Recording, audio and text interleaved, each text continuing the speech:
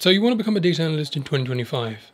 Here's how I'd learn it from scratch. They say data is the world's new currency, like oil. And learning data analysis is one of the best things you can do. So if I had to go back and do it all over again, Here's what I'd do. I've split up the video into these sections, covering how to develop an analytical mindset, learning the fundamentals and where to find certifications and learning resources, and building a personal projects portfolio that stands out. Step number one, developing an analytical mindset. Data analysis isn't just about numbers, it's about curiosity and problem solving. Data analysts are analytically minded by nature. For example, if you're good at maths, you likely already have a logical and analytical mindset, but that doesn't mean you need to be good at maths to be good at data analysis. To develop an analytical mindset, start by asking better questions. Look at any problem and think, what data would help explain this? What's the story that data could be hiding? Now, being analytical doesn't just apply to data analysts. Any type of analyst needs to be analytical. It's literally in the name. The definition of an analytical mindset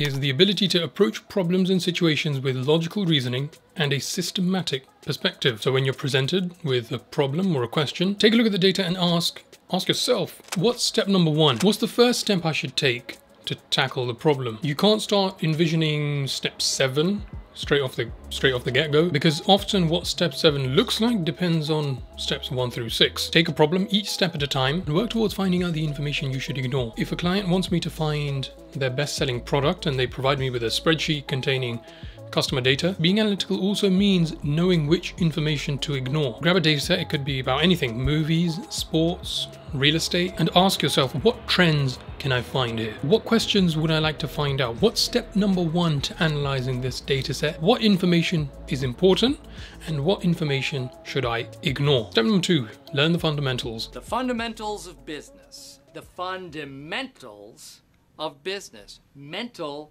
is a part of the word. I have underlined it. Now, being an analyst, any type of analyst, doesn't come without learning the fundamentals. It can feel very overwhelming at the beginning. SQL, Python, Excel, R, programming languages, statistics, Power BI, Tableau, which one?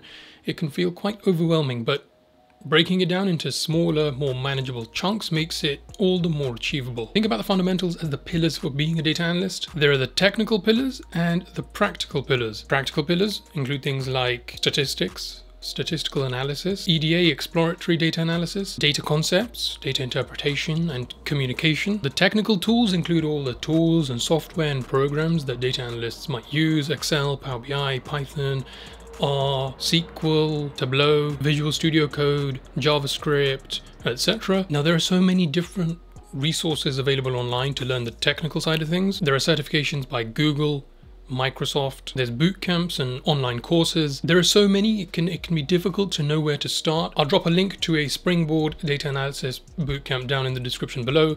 If you use the code down in the description, you'll get a thousand dollars off. But edX has free online courses from leading universities like Harvard, MIT, LSE, and, and companies like IBM, mm-hmm. Google, and they cover everything from beginner data analysis courses to much, much more niche and technical and difficult courses like data science for management or Python and data science for machine learning. And honestly, edX would be my first port of call if I was to go all the way back and had to learn it all over again. There's such a treasure trove of information on that website.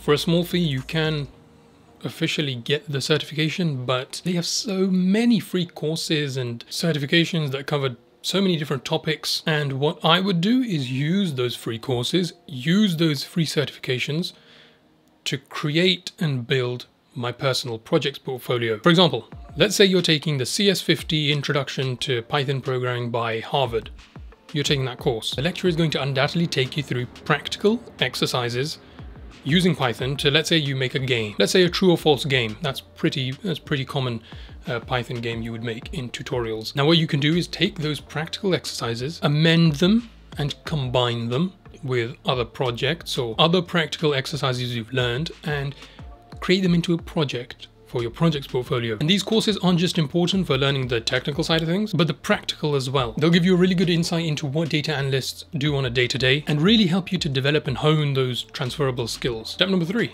build a portfolio that stands out. Creating a personal projects portfolio is important to be able to demonstrate your practical and technical skills. There are practice datasets available online where you can apply your analytical skills and ask questions of the data. If you go into subreddits for data analysis, you'll see a lot of previous examples of projects that people have done, and you can use those data analyst projects to replicate or even amend them into your own project or inspire your own project. For any project you create, you want to start off by identifying a problem or a question you'd like to explore or solve. For example, you could analyze customer churn patterns in a retail dataset, predict housing prices using historical data, or look for trends in social media engagement. Now, once you have your question, gather the relevant data from public sources like publicly available databases or government databases, export it, clean it, prepare it, and then apply appropriate analytical techniques to, to create meaningful insights. Pro tip, try and do this alongside an ETL learning module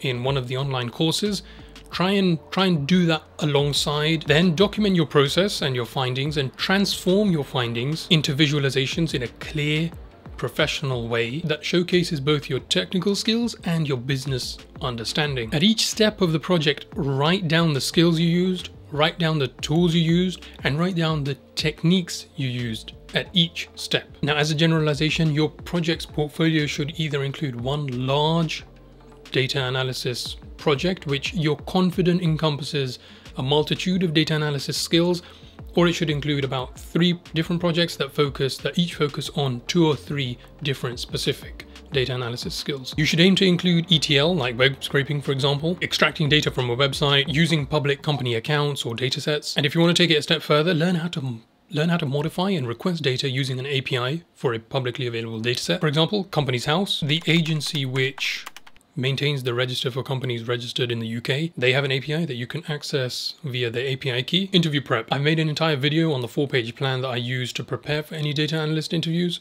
I'll link that up here somewhere and down in the description below. In that video, I talk about how I break down each page of my plan to prep for each different section of the interview from generic questions, from generic interview questions to company specific questions and commercial awareness, and the technical questions regarding the tools, software, and programs that any data analyst interviewer might ask me. Now, if you're watching this video, it's likely you want to become a data analyst, or maybe you're already a data analyst who wants to further their career. It's important to note, in my experience at least, an analyst is a very particular type of person. The best ones are incredibly meticulous. They're able to find discrepancies in seas and seas of data and figure out why something doesn't look quite right. And even more importantly, they're able to explain the most technical and intricate details to others in a, in, in a simple and effective manner. All that to say, sometimes the work can be incredibly tough and difficult, boring perhaps even at times. You'll come across numerous issues. There might be times when the data